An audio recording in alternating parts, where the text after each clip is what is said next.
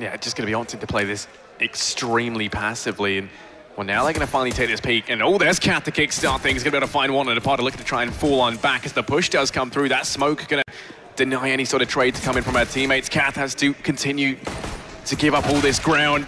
Guy's going to go down though. As Kath finds herself a second. She's locked down Ivy in a big way. Does, however, allow one player to sneak in through CT. Bomb's already going down over towards that B site as well. And Benita, she's not ready to go down on that lurk in through CT. Picks up one frag and it's still going to be a huge problem in the back line here.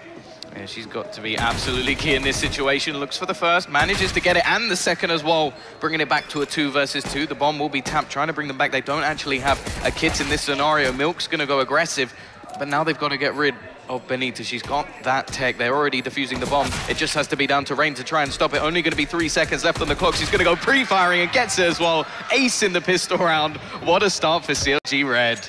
Yeah, you can